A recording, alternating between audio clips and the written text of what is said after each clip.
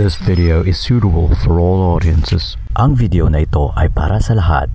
Kamusta po? Welcome po sa panibago nating video. Maraming salamat po. Si Gift pala, ang kaibigan yung vlogger ng ecotourism ng Pilipinas. You good? Alis na! Tayo, ayon sa website ng National Geographic, ang talon ay isang ilog o iba pang katawan nito na may matarik na pagbagsak ng tubig sa ibabaw ng mabatong hangganan na plunge pool. Cascade din ang isang pangalan ng talon. Mahalaga din pala ang pagguho ng mga bahagi ng lupa sa pagbuo ng mga waterfalls. Samahan mo ako sa pagtuklas sa top 8 best aquatic falls sa Pinas.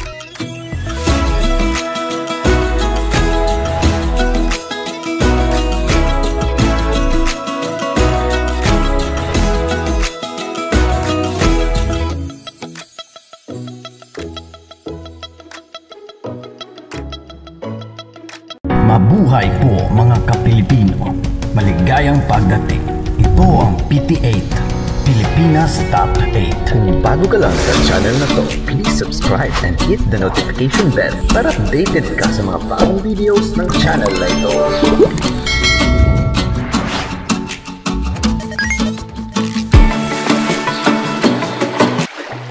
Kung tapos ka na mag-subscribe, maraming salamat sa iyo, Noypi.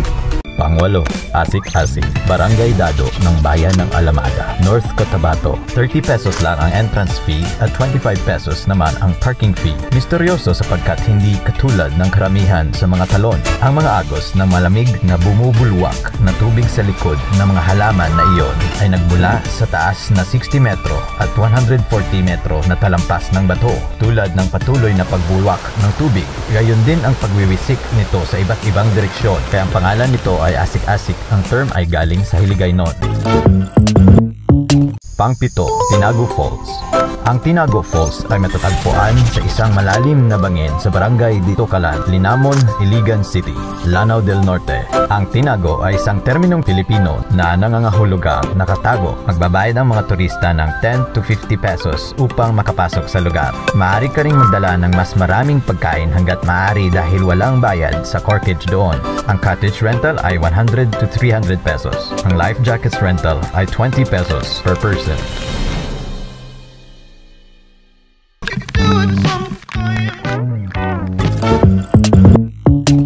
Pang-anim, Tinoyan Falls. Ang talon mismo ay tinampok sa iba't ibang mga internasyonal na magasin sa paglalakbay at mga palabas sa TV.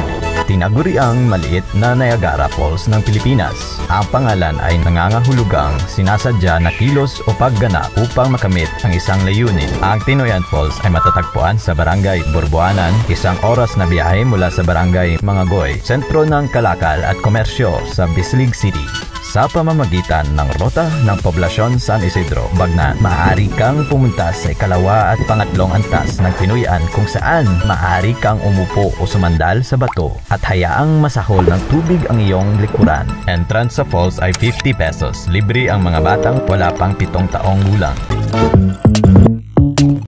Panglima, Dunsulan Falls. Malapit lang sa Bataan.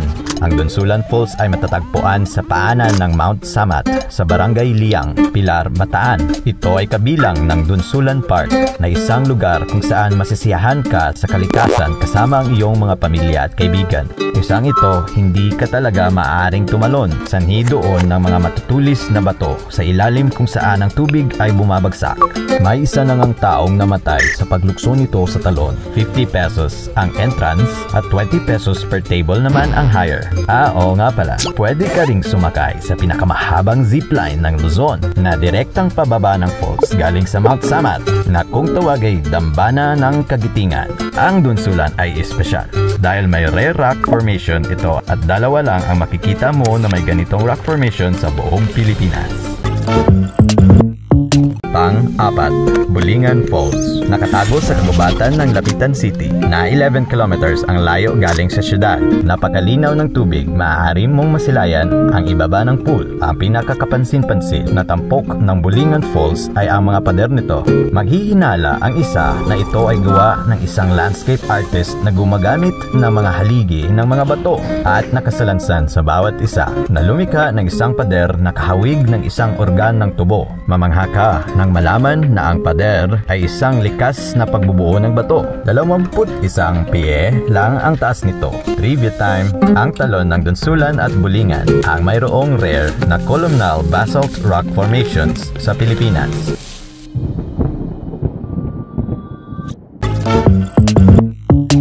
Pangtatlo, Limonsudan Falls. Sitio Limonsudan ng Barangay Bayog, Tagoloan 2, Iligan City, Lanao del Sur. Pero malapit lang ito sa Talakag Bukidnon kung saan ito ay tinatawag na Mindamora Falls o Bayog Falls. At hindi pa rin may tukoy sa ngayon kung sa Bukidnon nga ba o Iligan ang falls. Pero Bukidnon ang in charge sa mga turista ng Talon.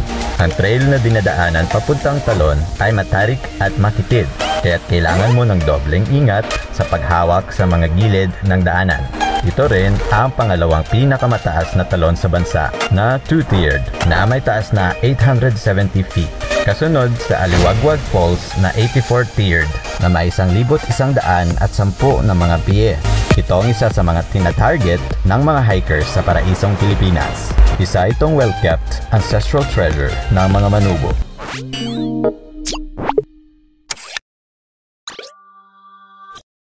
Thank you. Pangalawa, Maria Cristina Falls. Mapapawaw ka sa falls na ito. Sobrang ganda at kapaki-pakinabang pa.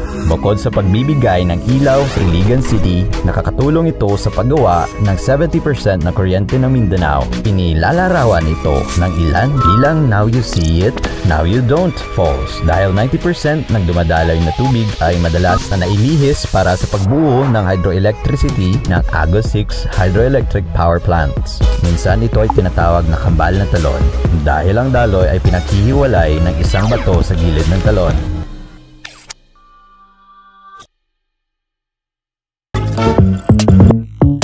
Nangunguna naman sa walo ang Kaparkan Falls. Matatagpuan ito ang Kaparkan o Mulawin Falls sa Sitio Kaparkan, Barangay Kaganayan, Tinig, Abra. Picturesque ang bawat anggulo, walang tapon. Sa taas ay isang spring na naghahatid ng tubig sa mga pool na ito. Ang tubig sa Kaparkan ay kalaunan na bumababa sa Tinig River na isang lugar na bawal ang paglangoy sapagkat ito ay mapanganib. Kapag nakita mo na ang Kaparkan Falls, malalaman mo na sulit ang paglalakbay. Ito ay isang kamanghamanghang tanawin na makikita mga layer at layer ng mga puting apog na terraces na puno ng mga palanggana ng tubig upang maligo.